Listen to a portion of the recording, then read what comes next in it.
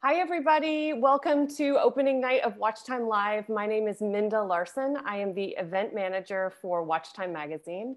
I am the person who's been sending you all those emails. We are so excited to see you all virtually. I see so many of you logged in, which is so exciting. So many names I recognize. We're really sad that we're not seeing you all in person this year. Of course, this year has been very interesting for all of us, but we're super excited that we can connect virtually. Um, so tonight we are celebrating Seiko and the 55th anniversary of the Seiko Divers Watch. Due to the pandemic, of course, we were not all able to be together. So our editor-in-chief, Roger Ruegger, is calling in from Switzerland. And the Seiko team, you will see, is calling in from the New York Aquarium um, and Coney Island, which is really super cool. And I'm calling in from my apartment in New York City. So I just want to go through um, a few things with you. We're going to begin the, the seminar shortly. If you have any questions for any of the panelists that you see, we ask that you submit your question through the Q&A button on the bottom, if you see that, and that will come to all of the panelists. And at the end, we're gonna save about 10 minutes for questions, and we really hope that you will um, have your questions ready for these panelists. And if you are selected, if we select your question to be asked, you will ask it live and we will put you on video. So make sure you have all your clothes on and uh, you're prepared to be on video in front of everybody. And um, I see also a lot of you have raised hands. If you could um, write that in the chat, or you can message me directly, Minda Larson at Watchtime, if you have any specific questions or if you can't hear anything, and I'll try to get to that. Um, but yeah, we encourage you guys to chat with each other in the chat. And then again, if you have any specific questions for the panelists, please use the Q&A button on the bottom and then those will come to all of us and you'll be able to ask your questions live. So without further ado, we hope that you enjoy the Seiko 55th anniversary of the Diver's Watch.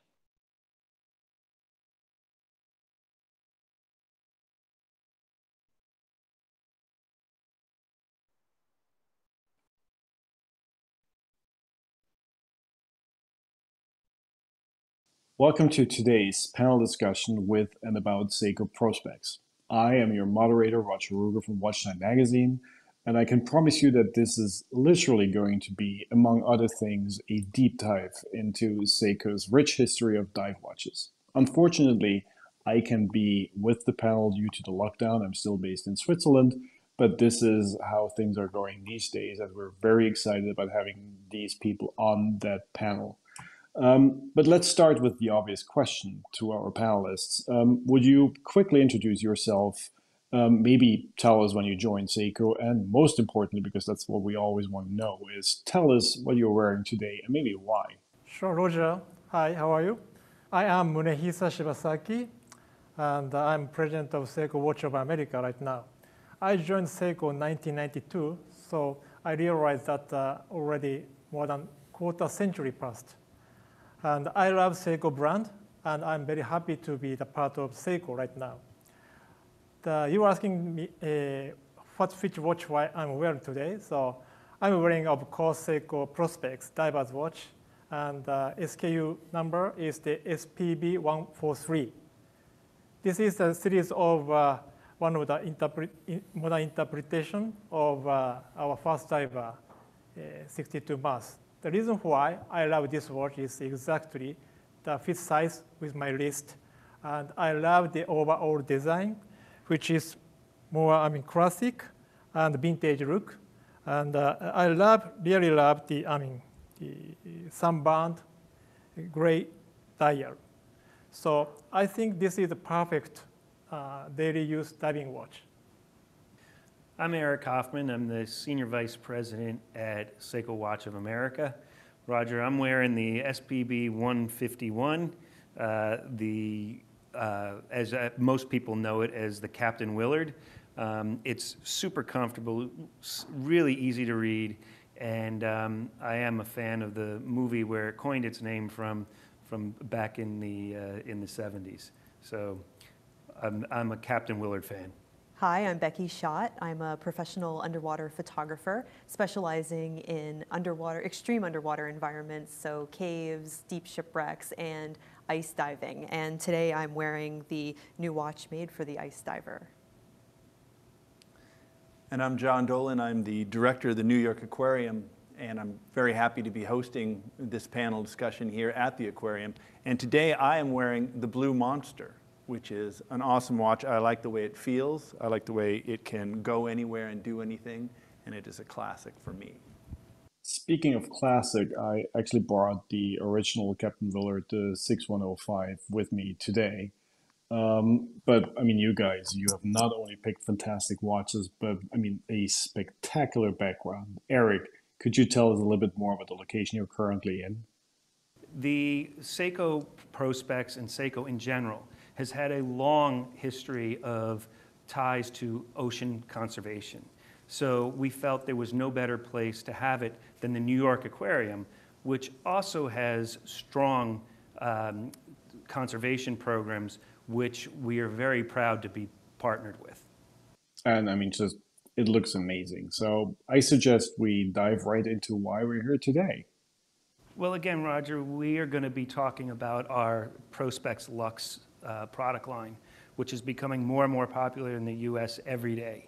Um, and for those who are not so familiar with uh, our Prospex line, I'd like you to watch this brief video.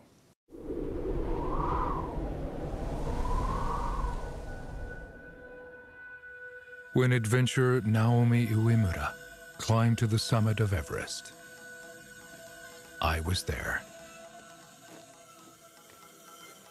When he became the world's first person to reach the North Pole solo with a dog sled. I was there too. I've also shared adventures with many other challengers as they have fulfilled their ambitions. That wasn't a coincidence. They call me Prospex. The year was 1965. I was born as Japan's first diver's watch. Water resistance, shock resistance, legibility.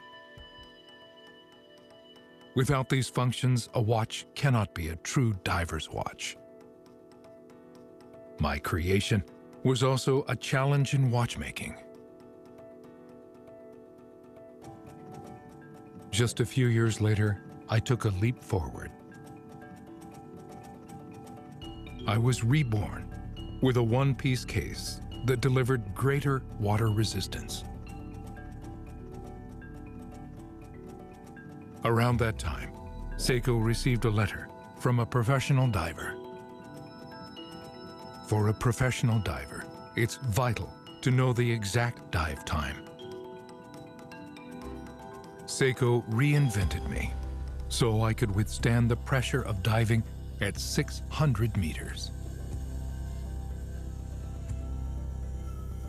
My reliability at great depths has been verified in three joint tests with JAMSTEC. My performance has been tested in some of the harshest conditions on the planet by many of the world's adventurers. I was awarded the Sports Watch Prize in 2018 and again the Divers Watch Prize in 2019. At the Geneva Watchmaking Grand Prix, one of the most important prizes in the world of watches. I am built for the people who take on the greatest challenges in the harshest conditions on our planet. Built without compromise, with over 50 years of experience, which is why the world's adventurers and professionals trust me. Today and tomorrow, I stand with the challengers of the world. Keep going forward.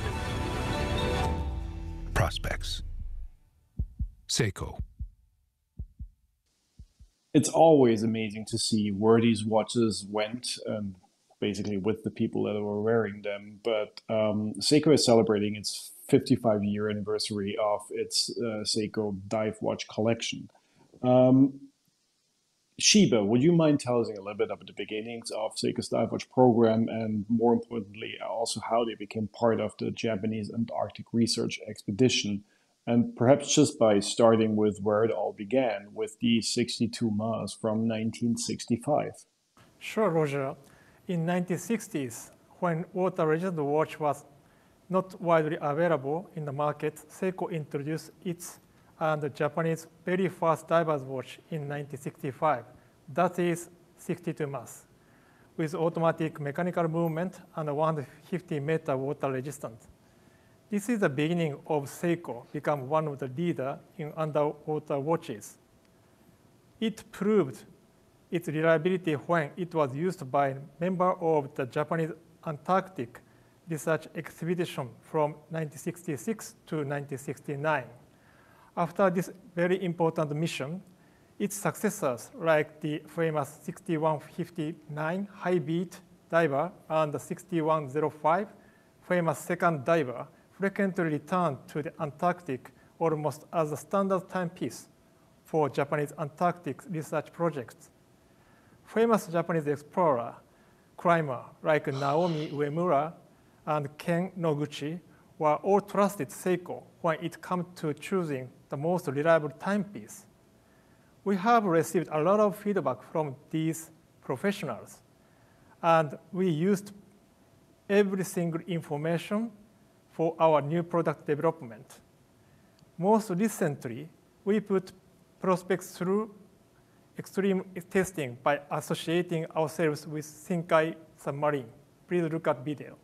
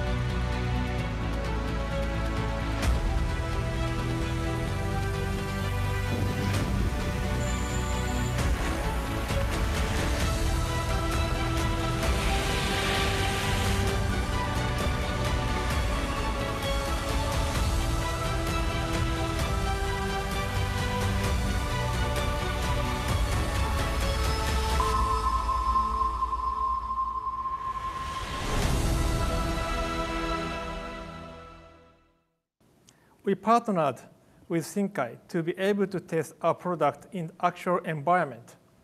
As you can see from the video, these Prospex models went way beyond the limit. This is proof that our engineer and craftsmen dedicated their effort to create a perfect timepiece. Well, when it comes to dive watches, it is usually about form follows function. But last year, Seiko took a slightly different approach. Um, you introduced the LX series with spring drive technology that was slightly more on the design edge.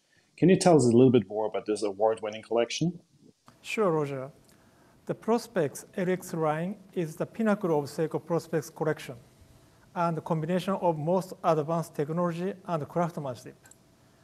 Movement is famous and accurate spring drive movement, and overall watch design was developed in collaboration with Ken Okuyama Design Studio. Ken Okuyama, he has an international experience in the design of automobile and other high-profile products. In addition, Case material is bright titanium, which is lightweight, and Zaratsu polishing work gave additional beauty of the surface. One of the remarkable achievements for Prospex LX was received Divers Watch Prize on Geneva Watch Grand Prix in 2019 among Swiss watch competitors. And if I remember correctly, also in 2019, Seiko started to well, at least discreetly incorporate some of the watches nicknames that were given to them over the over the last years uh, into its communication activities. Um, maybe could you tell us a little bit about the the history of Seiko with nicknames, um, or do you have a favorite? Yeah, I'm actually amazing how many nicknames Seiko watch has, especially in the dive pieces. So actually, I didn't realize I mean, after I came to the United States four years ago. So um, but uh, my favorite uh, watch, which has a nickname, was the, this one, is the Seiko Ashtray.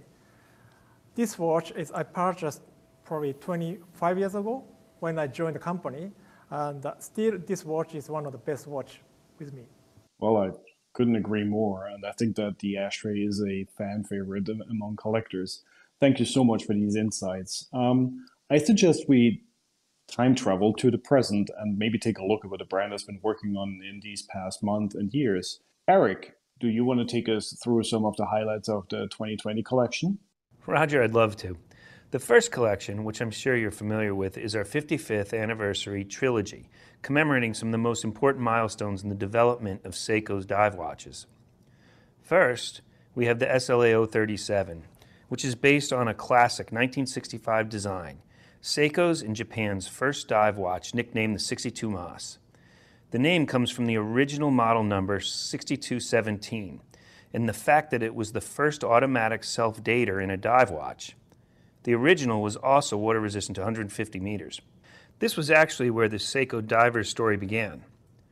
This recreation carries the same design as the original, right down to the fabric-style reinforced silicone strap but has been upgraded to our high-beat 8L55 movement and is water resistant to 200 meters and retails for $6,300. Next, we have the SLA 039. The second member of this trilogy is based on Seiko's first saturation diver from 1968. The original was the first saturation diver to carry a 10-beat, high-beat movement. The recreation is faithful to the design of the original, enhancing the finish with Zaratsu polishing and also has a high beat 8L55 movement and is water resistant to 300 meters.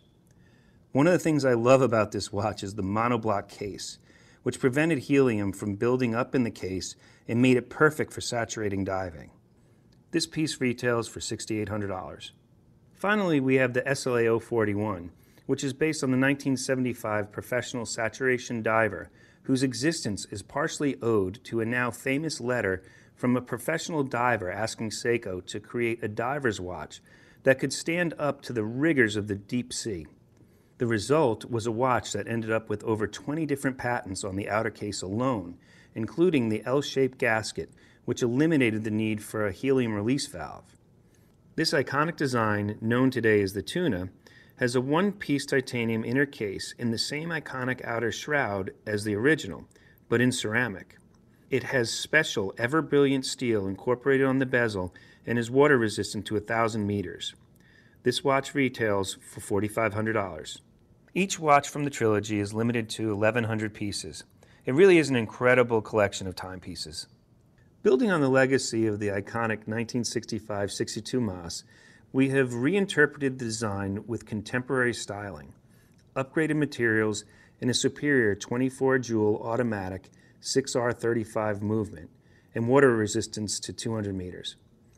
The new SPB 143 is this year's ad style and keeps the design of the original with a slightly larger 40.5 millimeter case, but sleeker and thinner than previous interpretations. This piece retails for $1,200. In addition to the gray dial, we have a 55th anniversary limited edition, the SPB 149. It has the same blue-gray theme as the Trilogy models, but with a bracelet, and comes with an additional silicone strap. This watch is limited to 5,500 pieces and retails for $1,350. Next, we have LX.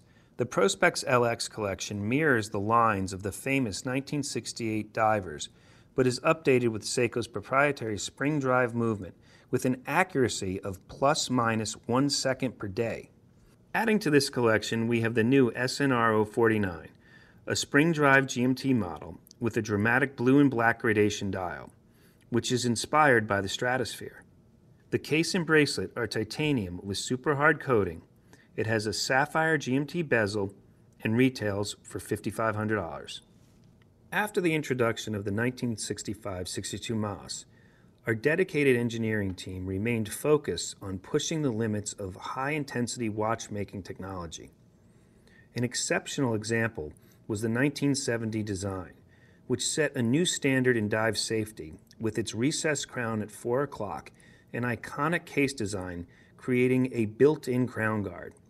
The new interpretation of this well-known design, SPB 153, features the same iconic case shape and recessed crown as the original, with a slightly smaller and thinner case, which hugs the wrist better and is more comfortable for everyday use. The new version of the Captain Willard, with its green dial with matching elapsed time bezel, is a subtle nod to the movie that gave it its nickname.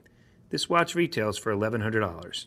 Lastly, we have a new 55th anniversary limited edition with a blue dial and additional silicone strap limited to 5,500 pieces and retails for $1,400. Roger, these are just some of the highlights of our 2020 introduction. As you can see, we are very proud of Seiko's legacy of dive and to be celebrating our 55th anniversary with these incredible reinterpretations. Well, I was fortunate enough to already review both the 1965 Divers Modern reinterpretation as well as the 1970 Divers Modern reinterpretation for one of uh, Time's current issues. But the good news is there is more to come. Seiko Prospex has just announced a series of watches inspired by the world of ice diving. Um, this appears to be a return to the brand's origins, isn't it? Yes, Roger. As you saw in the video that we played earlier, Seiko Prospex has been to the Antarctic back in the 60s, and we hope to get Seiko Prospex back to the Antarctic in the near future. Um, one of the things that I found fascinating when I joined Seiko was the whole design process.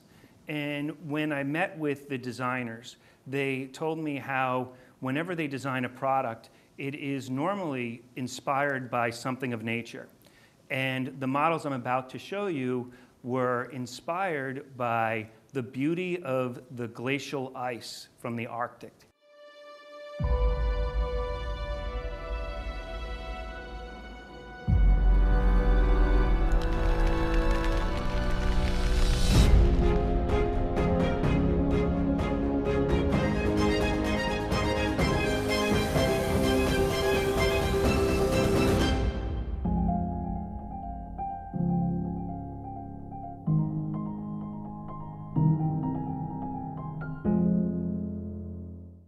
With a rich history of durability in the harshest conditions, Seiko divers quickly became the go-to watch for high-intensity exploration. These new Prospex, built for the ice diver, U.S. Special Editions, pay tribute to the durability of Seiko watches in the coldest and iciest conditions. They feature our 6R35 mechanical movement with a power reserve of approximately 70 hours. As I mentioned earlier, their three-dimensional dials in green, blue, and light gray are inspired by the various colors light creates when reflected on glacial ice. Complete with matching elapsed time bezels, LumiBrite hands and markers, and topped with a scratch-resistant sapphire crystal and magnified date window, these new U.S. Special Editions are water resistant to 200 meters and retail for $900 each. Well, this is yet another collection of true dive watches with uh, an authentic history. Um, I assume they will be called iSumos, but we will see. Um, but I do know that I really look forward to seeing them in the flesh as soon as possible. And going through the comments on our website, uh, I'm not the only one that really wants to see them on the wrist. Thank you very much, Roger. These are truly beautiful timepieces, and we are all very proud of our designers in Tokyo for delivering such amazing product. One thing I would like to touch on, which you mentioned, was authenticity.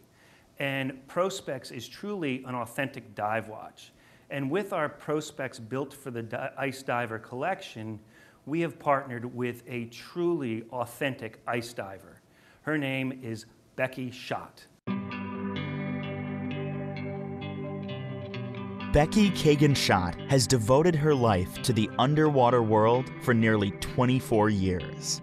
As a photographer, videographer, instructor, and explorer, Becky has dived from pole to pole to capture indelible images below the surface. As a young diver, Becky was inspired by underwater photography. Now, the Emmy Award winner produces incredible stories from deep beneath the surface. She is passionate about sharing these wonders with others to educate and stimulate the imagination. Pleasure having you on the panel, Becky. Um, I mean, that looked really, truly amazing. And I know that you're both a professional photographer as well as a diver. And uh, I mean, the gear and the equipment involved with that is just just insane. But just honestly, how dangerous is ice diving? Well, I've been fortunate enough to travel all over the world and dive in some pretty dangerous environments like caves and really deep shipwrecks. But ice diving is definitely the most dangerous type of diving there is. Ice is, I mean, first of all, you're in a remote location. It's really cold water, 28, 29 degrees, and there's just very little room for error. And then on top of that, when you're diving around ice, ice can change. It's very dynamic we have to pick a certain kind of iceberg to even think about diving because if they flip or if a piece breaks off, that can cause really big problems. Um, and then there's other types of ice diving where we're even cutting holes and then diving down below the ice using ropes to find our way back to the surface. So ice diving uh, is definitely extreme uh, and also in, the ter in terms of uh, the equipment that we're wearing. You can't always rely on it working at all times because of that ice cold water. So regulators can free flow and you could lose your air in, in less than a minute.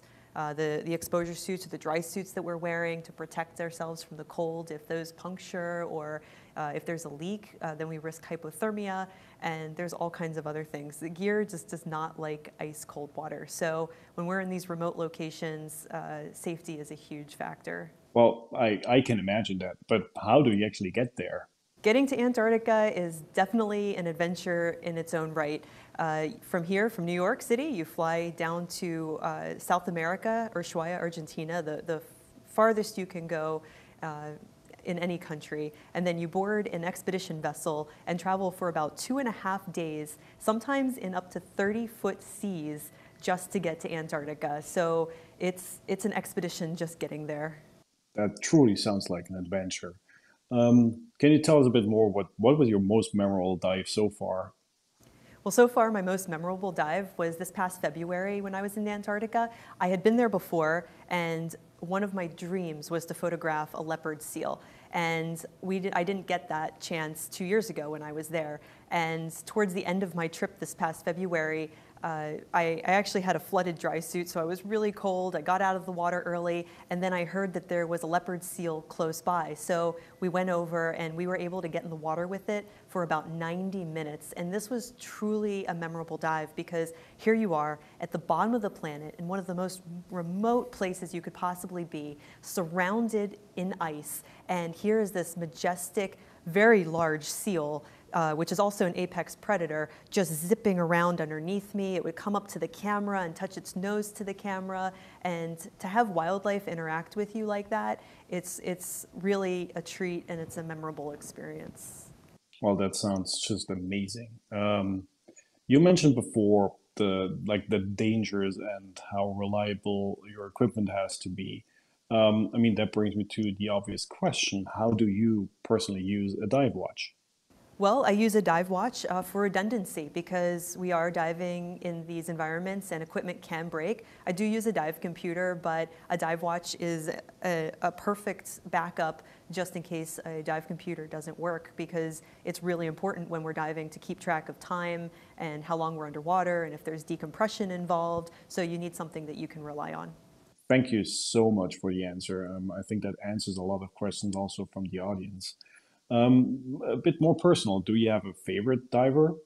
Yes, the watch I'm wearing right now, the ice diving watch uh, by Seiko, because it was inspired by the places that I love and the different glacial colors that I see when I travel to these remote places. And uh, I personally am wearing the blue one because uh, blue, when you see blue in Antarctica, that's some of the oldest ice on the planet. So this reminds me of that blue ice. And I love that this watch was also inspired by ice exploration, and that's exactly what I'm doing.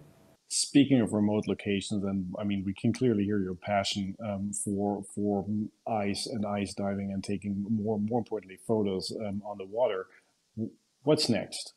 Well, we always have some expedition plans. Sometimes they're years in the future, but it looks like hopefully I'll be going to explore some crystal caves in the Bahamas soon. And we're also talking about uh, doing a Seiko uh, Prospex expedition back uh, to the poles to do some, some more ice diving. That sounds amazing. Yeah, it, should be absolutely amazing. And to, to go back to the poles and you know take this watch ice diving will be absolutely amazing. It'll be literally cool. Well, and I think one other aspect of your job as a photographer is also to help us understand why it makes sense to preserve nature and ecological systems.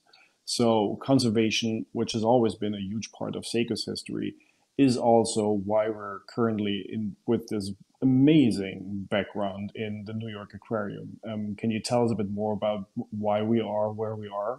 Prospex has had a long history of ocean conservation.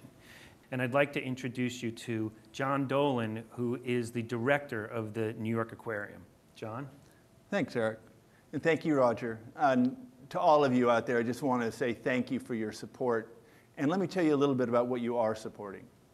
The New York Aquarium is not just a facility here in New York, but we're part of the Wildlife Conservation Society, which is a global conservation organization spread around the world. So when you're talking about supporting us, you're also supporting more than 24 marine projects around the globe, all of which are featuring the preservation and conservation of marine wildlife.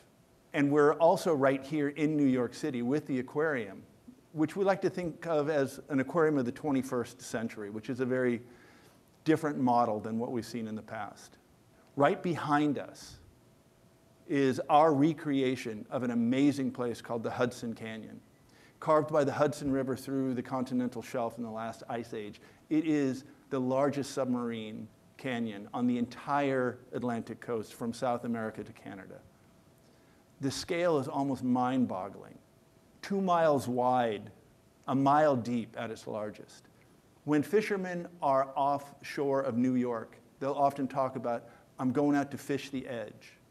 They're talking about the edge of that canyon because that's where the action is, and that's what we need to protect. So, the great ecological function, the great cultural function, and the scientists at the New York Aquarium were the ones leading the charge to name this as a national marine sanctuary to protect it. And lastly, you know, Eric, you talked about the fact that Seiko designers are inspired by nature. Well, that's what obviously what we're doing here. Roger, you talked about the fact that we will only protect and conserve what we love. If we can bring that to the people, if we can show them what they are inspired by, bring them face to face, eye to eye, heart to heart with this beautiful wildlife, we know that we're inspiring not only a passion to understand these animals, but to conserve them. And that's what you're supporting. That's what Seiko has supported. And that's why this is such a great setting for what we're doing tonight. Thank you so much, Jon. This really sounds truly amazing, and I can't wait to finally return to New York and, and visit you face to face. And maybe let's talk about turtles and turtles, how we know them and how we have them on our wrists. Thank you. Shiba, Eric took us through the 2020 collection. Um, looking ahead, what can we in the US expect from Prospex in the future? Yeah, I mean, we We will continue to focus on our core competencies and following the spirit of our founder, Mr. Kintaro Hattori, he, he said that always one step ahead of the rest. We would like to keep producing new products which meet uh, our consumers' expectation. That is our plan. Thank you. Do you have any personal highlights from the collection? It's very hard to choose one product from 2020 new models. Personally, I'd like to focus on not only watches, but also the casing materials. We call Ever Brilliant Steel. This is an exceptional level of corrosion resistance and lighter, brighter finish than normal steel. This very hard material is used in deep water structures, but never before available in a watch case. As a real watch manufacturer company, we Seiko always pay attention to searching the best materials for professional, professional specification timepieces. Thank you, Shiba. Roger, so all night you have been throwing questions at us. So let me throw a couple questions at you. You've been doing this quite some time. So what do you see? What is your favorite watch that you've seen tonight? Well, that is both a very difficult but also very easy to answer question for me personally because I am fortunate enough to have uh, the tuna. I have the 300 meter high beat diver. I have the Marinemaster. I think I have two Sumos. Yeah, both the SBDC 027 and the regular one. So just by exclusion, for me, the 1965 um, reinterpretation is just something like this watch. It's just everything is right. Even just the balance, the dimensions, the slightly vintage look and the two-tone version with the gold applied index is just for me probably my next purchase. Excellent. And you yourself are a diver roger. I know that. So why don't you tell me what your favorite dive spot is? What is your favorite memory? Well i was fortunate enough to to go on dives in egypt in in um, like here in europe in, in the sea and also occasionally in the bahamas. But i will never forget one of my first dives which was don't laugh at me, Lake Zurich, which is not even a dive spot. But for some reason, as a diver, you pretty much know what to expect from the movies you've seen, from the books you have uh, read through. But I have never really understood how a, a boring lake looks beneath the surface. So this for me was really different. And I I really started to appreciate the fact that freshwater dives do not necessarily require you to to wash and rinse your material as as thoroughly as you have in salt water. Thank you very much, Roger. Really appreciate your time. Well, thanks everyone for providing us these insights and thought about how these products are created and at the end of the day also used and the impact they make even beyond um, us watch collectors and watch enthusiasts. Um, sadly, we couldn't do the whole thing in one room, but I'm very much looking forward to meeting you all soon again. And I think we're all very excited about getting some questions from the audience.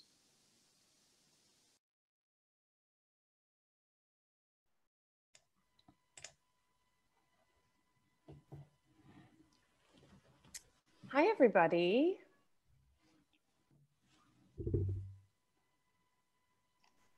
Hi, everybody. I hope that you enjoyed that. Um, so our panelists are here. Roger, can you please say hi to everybody? Hi, everybody. Um,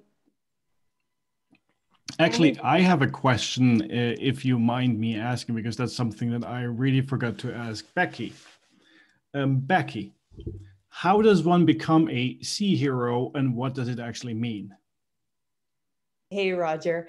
Uh, so, yeah, two years ago, I got the honor of becoming a PADI Sea Hero. Um, actually, well, Seiko uh, Sea Hero, and it's sponsored um, with PADI, the big a big dive organization. And I, I didn't even know I was up for it. It was just sort of a uh, an honor that was unexpected. And uh, they chose me for inspiring others through my photography and and video. Um, and to me, that that's one of the most meaningful things uh, because that's what I try to get through with the photography and traveling to all these amazing places is to to inspire somebody to get out there, maybe see it for themselves, and you know, and and protect the environment after seeing these amazing places.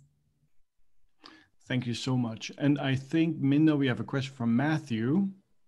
Yes, Matthew, are you there? Yes, he is. Oh, great. He is there. Okay. So, Matthew, uh, just one second. You're still muted. If you could unmute yourself and if you could tell us where you're calling in from and also ask your question, please. Sure. I'm calling from Toronto, from Canada. Uh, my question for the Seiko team I mean, most of the, your customers, um, quite obviously, are not deep sea divers or even swimmers. So, why is it important for Seiko to continue to invest in developing very capable dive watches? And I want to thank you for your, for continuing to produce these capable dive watches and, and more importantly, at different price brackets uh, to allow all of us to enjoy these watches, whether we actually dive in the ocean or just uh, simply on our desk.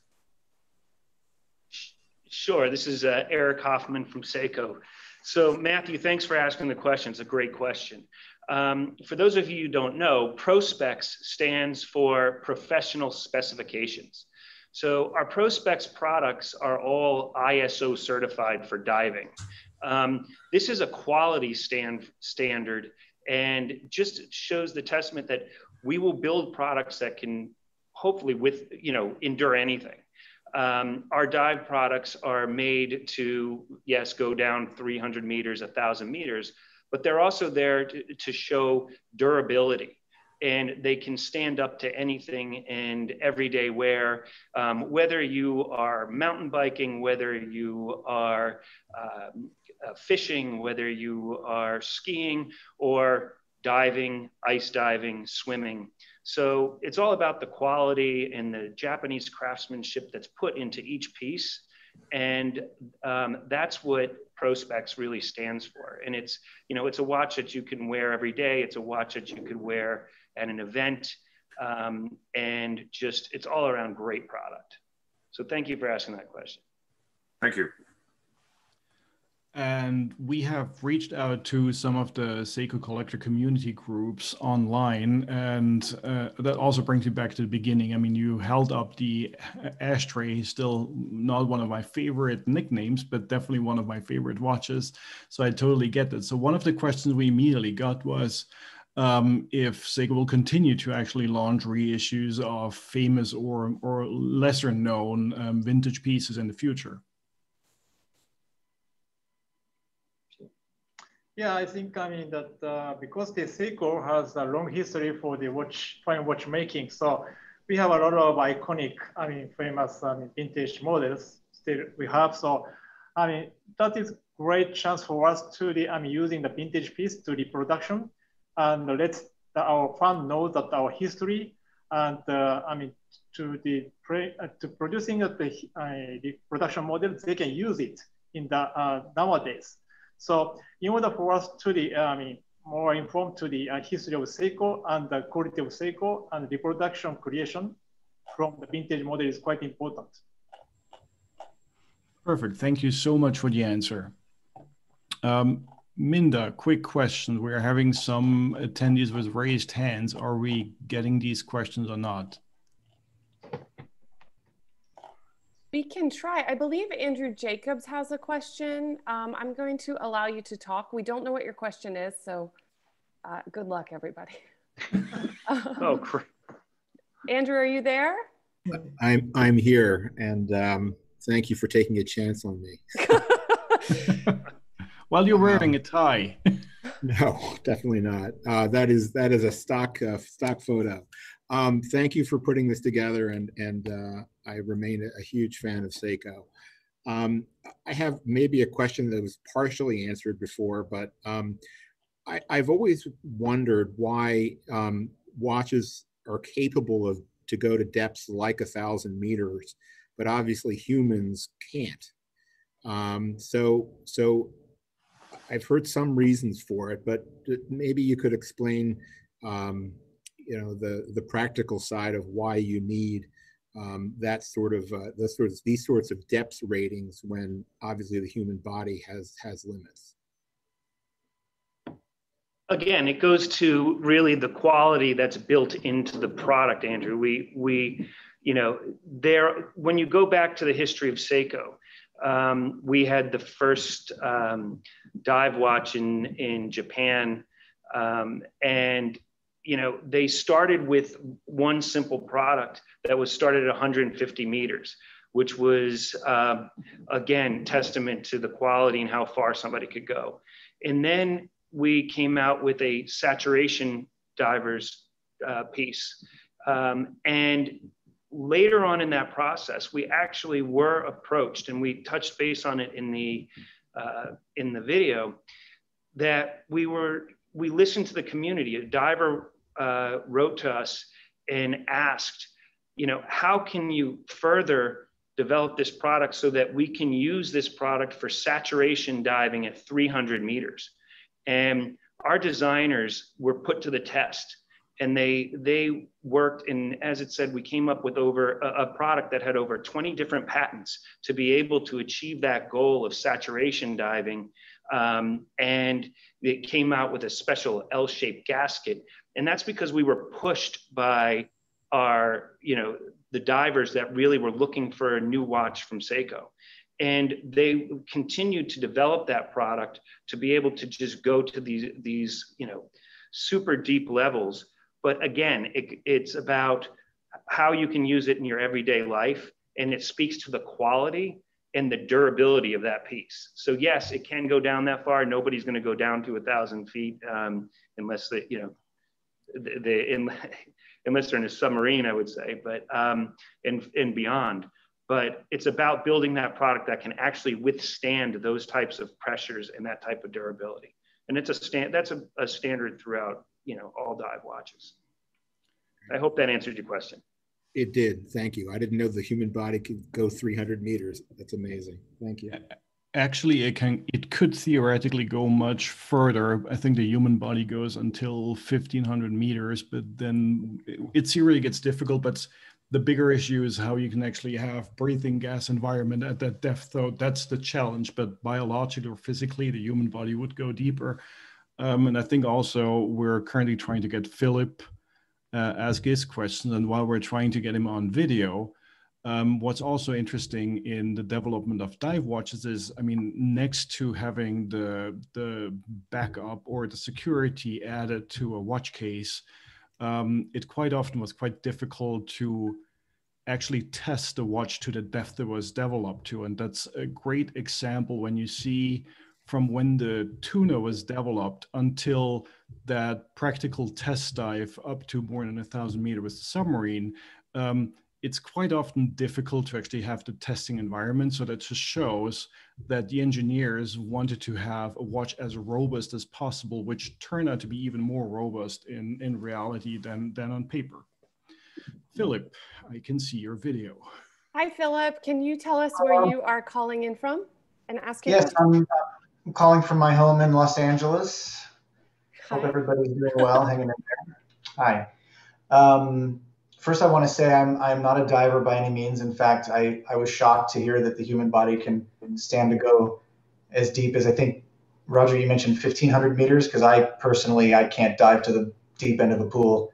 But um, my question is, I'm, I'm curious about what, um, what Seiko's experience has been at those sort of diving depths, the timekeeping reliability variances between quartz versus mechanical versus the spring drive movements, um, and how pressure affects those different types of movements.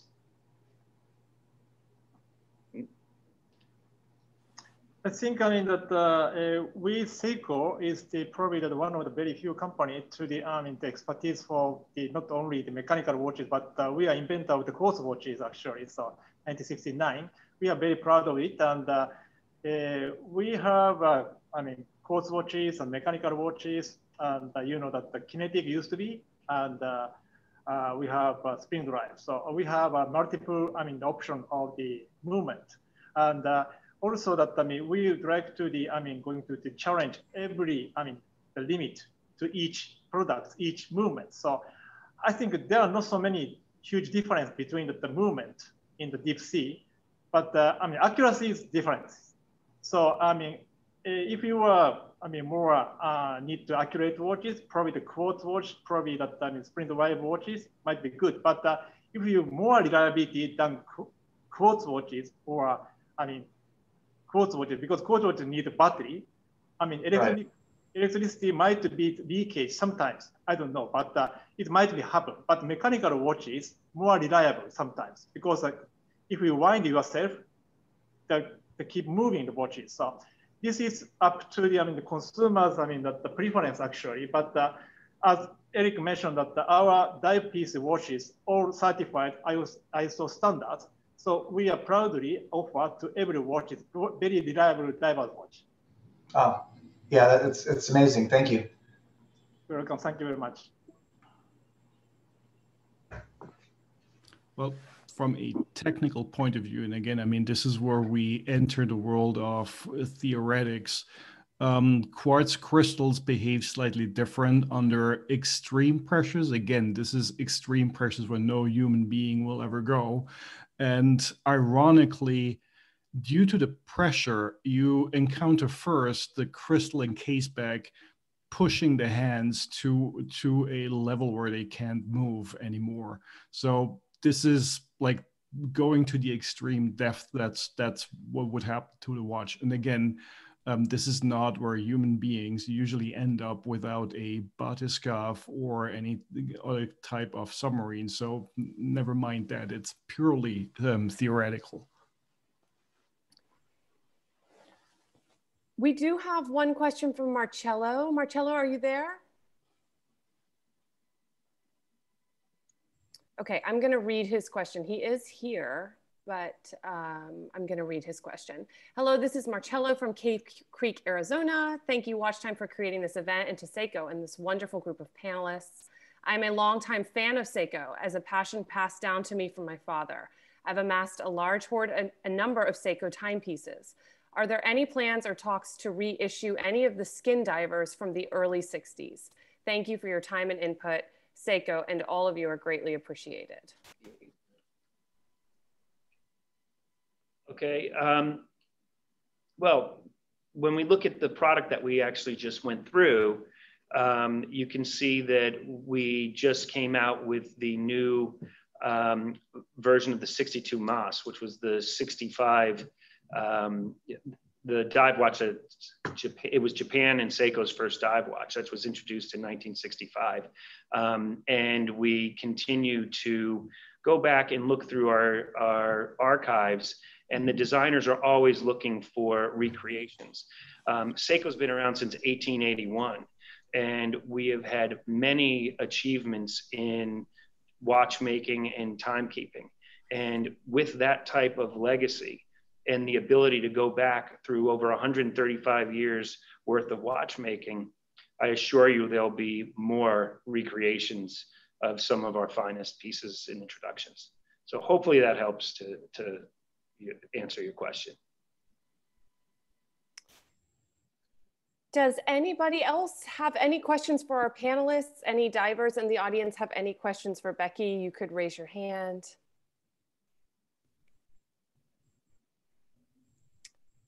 I believe that is all the questions from our audience. Roger? Well, I have one. How did you train the sharks in the background to behave that I mean, it's just like like on command. We had turtles, we had sharks. This is whoever trained them deserves uh, applause. But otherwise, um, I would like Becky to say hello to everybody since she is here live, and I'm not sure everybody has seen her. Becky, can you please say hello? Yeah. Hey, everybody. Um, I did, I think, answer one question from Roger. And uh, can you hear me? Yes. Okay, cool. Uh, actually, I want to I want to chime in on the uh, the question that was asked earlier about uh, depth and diving. Uh, I I know a, several expedition teams that are doing over 800 foot dives. So uh, divers really are going to those depths and pushing the limits of the human body and physiology. And it's pretty incredible what they're doing. Uh, and I also have, uh, I know several people that are commercial divers that regularly do anywhere between, you know, seven and a thousand, 700 and a thousand foot dives uh, using full hard hats and different gear than scuba gear, but um, definitely uh, not in a submarine. So it's, it's pretty fascinating. But the guys that are going to 800 feet, it's it's a pretty amazing feat. Uh, I only go to like 400 myself. um, Becky, we did just have one uh, question come in for you from Jason. Jason, are you there?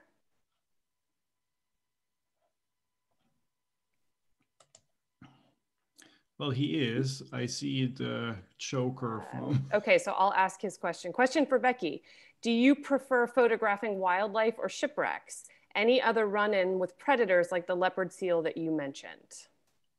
That is a great question. Um, you know what? Through my my 24 years of diving, I've I've evolved, and I like all different types of environments. Uh, I was a cave diver for a long time. I still am, but right now I'm really into shipwrecks because I love the history, and there's so much that goes into it. Like with a shipwreck, there's a story, a human story to tell, and there's artifacts and um, it's just it's eerie and kind of spooky and I, I kind of like I kind of like that. Um, but I do mix it up and still like to shoot wildlife as well. I've had some amazing encounters with dolphins in the Bahamas where, I mean, they've just stuck around with us for 30 or 40 minutes, just just spinning and buzzing around and that wasn't even on scuba that was that was snorkeling um, and funny enough some of my most amazing experiences in the water have been uh, just even in the snorkel zone with manatees uh, whale sharks in mexico um, all kinds of different shark species turtles man uh, i said manatees um,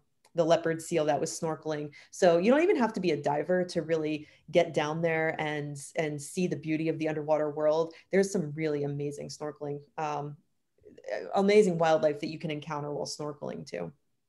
Um, we had one more question, Becky. Why, if you know this one, why is old ice blue? I do know the answer to that question. Um, so, and don't quote me on this exactly, but so um, old ice, blue ice, uh, is glacial ice, and it's blue because it's been compressed for for hundreds of thousands of years, and even up to I think a million years, and it's uh, it's compressed, so all the air bubbles have been pushed out of it, making it just super, super clear. And when the light hits it, it reflect it just refracts the this blue color. So it's very dense ice since all the, the air bubbles have been pushed out of it, and it just refracts this amazing blue color, which is, it's stunning. I've never seen anything else like it. So you'll usually see the blue when a glacier is calved off somewhere like in Antarctica. And then now you've got a piece of iceberg that is starting to melt and you start to see that blue ice come through.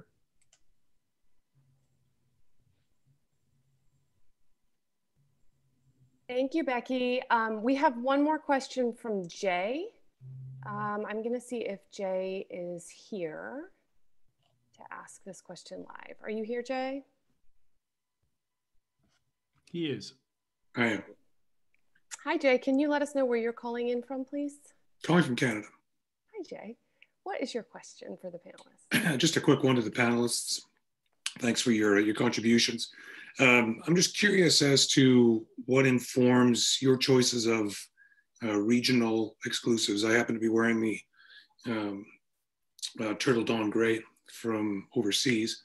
And I'm just, uh, I'm wondering what your thought process is as to uh, when you choose to do one of those and what the design ideals are when it comes to that. Thanks very much. I can try and answer your question. Um, there, look, there's many different markets. Seiko's a, a truly global brand, and um, if we were able to make every watch we wanted to, I mean, it, it, it'd be, it, we would just be totally oversaturated. Um, so there's certain requests from certain markets. Um, we have many, and there's many that we get turned down. Um, and, you know, it's really a design decision and a manufacturing decision. So they can't make everything we would love to make. So in certain circumstances, there's opportunities for markets to put in requests, and every once in a while, that request has been granted. Um, we were really lucky because um, of the whole ice diver uh, built for the ice diver program because you know we were talking with designers about something that we wanted to do in the US exclusively. And they were telling us about this amazing concept that they had for coming up with these beautiful dials that were inspired by glacial ice. And that's how this built for the ice diver uh, really came about. So it's, uh, you know, it's, it's not an exact science, to be honest with you. Thank you. Thank you, everybody. Um, Roger, if you have any final words um, or if there are any final questions for our panelists, please submit them right now. Well, I think something to all the divers on the panel, but, but especially in the audience, and that's again directed at Becky. Um, how can divers help protect the ocean? Um, I mean, it's it's we go there, we fly, we take a car, we are tourists, but at the same time, we help raise. And you, having been awarded a sea hero, how can we, the regular divers, actually help and support this cause? That's a great question, and it's a, it's a that's a loaded question too. Um, I mean, as a diver or any divers out there in the audience, I, I think what we can do, or the best thing that we can do, is try to inspire others because we get these amazing experiences in in places that a lot of other people will never get to go to or visit. So i think sharing those experiences and um, telling our friends or our family or coworkers why we love to do what we do and why should why should they care about it? Because in order to protect something people need to care about it. And why would they care about it unless they they're educated about it or maybe they see an image of the place? So um, i think it's our responsibility as divers to share our experiences and um, help educate our friends and, and other people around us as to why these environments should be protected and why they're important. Um, I mean, I, I know they inspire me and they can inspire others. And even if you can get them out there and get them to take a dive course and show them these places, whether it's in Europe or in Canada or the United States or Asia, there is diving everywhere in the world, even landlocked states. So, um, you know, there's always there's always something that can be that can be done. Perfect. Thank you. Um, we have another Q&A. Minda, I haven't seen that one. This is from an anonymous attendee. Does Seiko participate in any Watchbox shows like Baselworld, Basel World, however you want to pronounce it? Yes, it, we, when Baselworld was around, we were, were participating and there are many different types of shows that we participate in. Um, with COVID, it's certainly put a damper on things and, and restricted what we can do. Um, and you know, it's not just the big shows, but we also support a lot of our key retailers in regional events. Um, and you know, there'll be more and more of those as the world starts to slowly open up. But um, certainly, um, Baselworld and Watch Time, for example. Yay! And now Watch Time Live and watch them live. Well, thank you all very much to the Seiko team, to our panelists for, for sharing this with us and for kicking off our opening night. And thank you to all of you attendees, so many of you tonight for your questions.